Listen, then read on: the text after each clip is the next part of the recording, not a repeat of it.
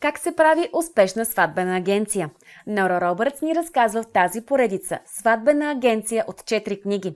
Видение в бяло, легло от рози, наслади се на мига и щастливи заедно.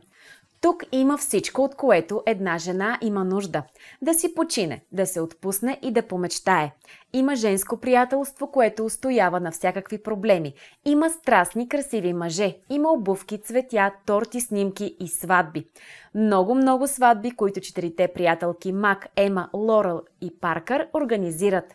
Мак, фотограф от разбито семейство, тя владее хаоса и винаги успява да запечата най-красивия миг от него. Има най-злата майка в Вселената, което е довело до сериозните проблеми с обвързването и до факта, че не вярва в любовта. Съдбата я сблъсква с типичния пример за разсеян професор, влюбеният в думите Картер.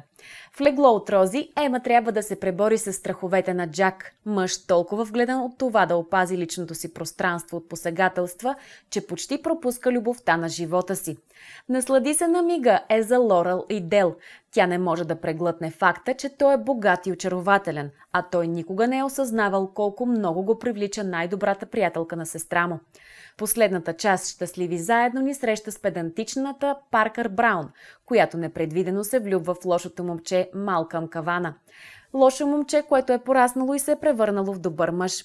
В поредицата сватбена агенция ще си подарите толкова вълшебни мигове. Ще си помечтаете, ще се влюбите в героите и техните красиви и романтични истории.